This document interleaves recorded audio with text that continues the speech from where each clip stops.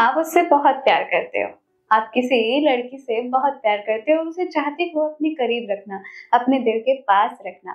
आप चाहते हो कि वो सारी चीज़ें मुझे आगे बताएँ, वो मुझसे इमोशनली अटैच रहे और हमारा प्यार आगे बढ़े। तो ये चीज़ें आप ज़रूर ध्यान से सुनो और इन टिप्स को फॉलो करो। चाहे कितनी भी रूड लड़की हो, चाहे कैसी भी लड़की हो, चाहे वो आपसे कुछ दिनों से बात कम कर रही हो या फिर थोड़ा सा उस पर एटीट्यूड है।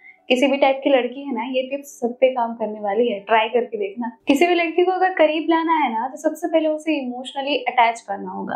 किसी भी टाइप की लड़की हो, उसका मूड कैसा भी रहता हो, या वो एंगर मूड में रहती है, थोड़ी नोटी है, चंचल है, लेकिन हर एक लड़की इमोशनल ज़रूर होती है। तो उसी इमोशनल को आपको क्रिएट करना है। वो इमोशनल मोमेंट सिर्फ़ वो आपके साथ क्रिएट हो। उसे अपने इमोशनली करीब ज़रूर लाए। अगर कोई लड़की आपसे इमोशनली अटैच हो गई तो सबसे पहला बेनिफिट आपको ये होगा कि वो सारी बातें आपको आके बताएगी। आपसे दूर तो जाएगी ही नहीं। ब्रेकअप का चांस कम होगा, आपको छोड़ने का चांस कम होगा और जी हाँ रिलेशनशिप बहुत स्ट्रांग होगा और आगे भी बढ़ेगा। तो नंबर वन है बोरियत को हटाओ, उसे पास लाओ। देखिए लड़कियाँ ना बहुत नोटी माइंड की होती है। उन्हें हमेशा ना एक्सपेरिमेंट टाइप की चीज़ें पसंद होती हैं। ऐसा नहीं है कि वो जिसके साथ रहे या फिर आपसे एक घंटे भी बात करे तो आप बोरियत वाले सवाल उससे करने लगो। आप उससे नोटी और अच्छे कॉमेडी टाइप बातें करो ना आपका साथ उसे सबसे बेहतर लगना चाहिए। हो सकता है उसके पास बहुत सी सहेलियाँ हों, बहुत सारे फ्रेंड्स हों, लेकिन आपका साथ होना, आपका पास होना उसे सबसे एक्साइटमेंट लगे। ऐसी पर्सनैलिटी अपनी उसके सामने क्रिएट करो। लड़कियों को फ्लर्ट करना काफ़ी पसंद है। अगर जो बंदा उसके साथ फ्लर्ट करता है इमोशनली भी फ्लर्ट होता है और रोमांटिक सा भी फ्लर्ट होता है तो उससे वो फ्लर्ट फील होना चाहिए एक सॉफ्ट टच की तरह, एक प्यार की तरह, जैसे कि आपसे छेड़ रहे हो प्यार से।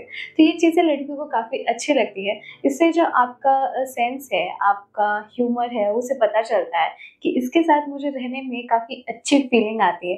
तो जितना देर वो आपके साथ रहेगी, जितना बात करेगी, यानी आपके करीब आएगी उसके साथ हार्ट टचिंग मोमेंट करें। हार्ट टचिंग मोमेंट देखिए, हर एक लड़की चाहती है, उसके लाइफ में कोई प्रिंस चार्मिंग आए। उसके साथ वो सारी चीज़ें करे जो फ़िल्में में दिखाई जाती हैं। वो अपने आप को सिंड्रेला ही तो मान के बैठी है ना? तो उस सिंड्रेला के लिए एक अच्छे से प्रिंस तो चाहिए। तो प्रिंस वाली हरकतें करें। देखिए रोमांस काफ़ी ज़रूरी है।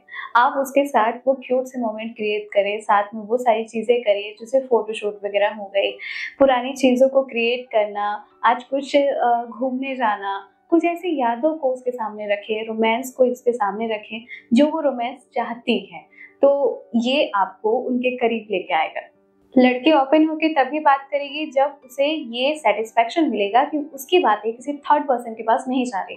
अक्सर बॉयज़ यही गलती करते हैं। उसकी बातें या उसके चैट्स को किसी अपनी क्लोज फ्रेंड के साथ शेयर करते हैं। ये किसी भी लड़की को पसंद नहीं होता। इसी पे भरोसा टूटता है। और अक्सर आजकल यही सारी चीज़ें हो रही हैं। तो आप उन पर भरोसा दिलाओ कि आपकी बोली हुई कोई भी चीज़ या कोई भी फ़ोटो कोई भी चीज़ें मुझसे कहीं लीक नहीं होगी, मैं किसी के पास शेयर नहीं करूँगा। वो आपकी और मेरी बहुत ही प्राइवेट बातें हैं, मैं किसी के साथ शेयर नहीं कर सकता। भरोसा क्रिएट करो। रियल हो। देखो रियल होना काफ़ी ज़रूरी है, लेकिन उसी के साथ अपना एटीट्यूड भी मेंटेन करके चलो। लड़के हमेशा उनके पीछे लगे रहते हैं। आप जिसे पसंद करते हो, उसको twenty four by seven available रहोगे तो वह आपकी बातों को ध्यान में कैसे देगी? आप उनसे आधी अधूरी और वैसी बातें करो, जो उनके दिमाग में चले। आप उनसे वैसे बात करो कि जिसपे वो अटक जाए और आपसे बार बार पूछे कि तुम वो बाल बोल रहे थे ना, उसे कंप्लीट करो ना। क्या मतलब था उसका? ऐसी चीज़ें आप उसके साथ क्रिएट करो और अपना रियलनेस उसके पास हमेशा रखिए। अगर आप उनसे झूठी तारीफें या फिर झूठी चीज़ें दिखाओगे, झूठे स्टेटस दिखाओगे तो डेफिनेटली वो कुछ दिन आपके साथ रहेगी और झूठ एक दिन पकड़ा ही जाएगा। वो आपसे दूर भी हो जाएगी। लड़की की फैंटेसी को सच करना। देखिए फैंटेसी का मतलब ये नहीं कि आप उसके लिए बहुत बड़ी और महँगी चीज़ लेके आ जाए। कुछ छोटी छोटी फैंटेसीज होती है ना। बहुत सारी लड़की आइसक्रीम खाने पे भी और आपके साथ एक कप चाय पीने पे भी इम्प्रेस हो जाती है। आप उनके साथ बारिश में डांस भी कर लो तो वो खुश हो जाएगी। तो ये छोटी छोटी चीज़ें होती हैं, वो भी लड़कियों को खुश करती है और आपको इमोशनली अटैच करती हैं।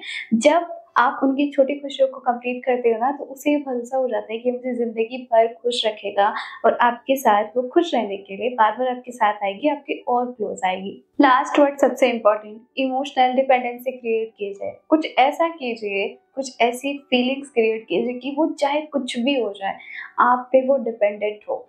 उसकी कोई भी ऐसी आदत, आपकी कोई भी ऐसी लत जो उसे लग जाए अगर उसे वो लत लग गई तो डेफिनेटली है कि वो उससे ज़्यादा दिन तो दूर नहीं रह पाएगी। बीच बीच में आप थोड़ा गैप भी बनाएँगे जैसे कि आप बातें करते हैं, लगातार बातें करते हैं तो उन बातों में थोड़ा सा ब्रेक लेके आइए। ऐसा करने से ये होगा कि वो थोड़ा तड़पेगी। जब उस पर वो तड़प आएगी तो डेफिनेटली आपको कॉल पे कॉल करेगी। आपसे मिलने की चाहत रखेगी, आपसे मिलने आएगी। जब आप उससे मिलोगे तो डेफिनेटली क्लोज तो आना है ही। तो होप सो कि आपको ये सारी बातें अच्छी लगी होंगी। कमेंट में एक हार्ट ज़रूर देना अपने प्यार के नाम। होप सो कि आप इस चैनल को सब्सक्राइब ज़रूर करोगे। Thank you so much